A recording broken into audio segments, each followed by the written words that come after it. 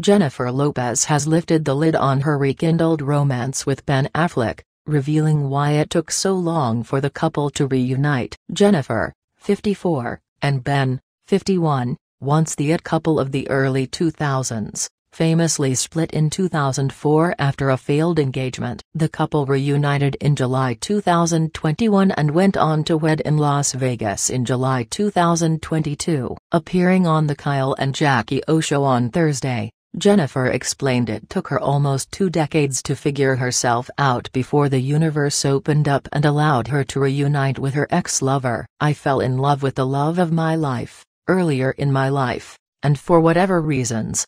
We needed to grow and do other things, she began. We both went off and had children with other people and other relationships but, you know, in mind I kind of had it like, oh, that was kind of the one and so when we got back together, I couldn't believe it and I don't think he could either. It's not something we ever planned. We really had moved on with our lives but when we reconnected, it was almost instant and we just knew, she continued. Thank for watching, subscribe and let us know what you think in the comments.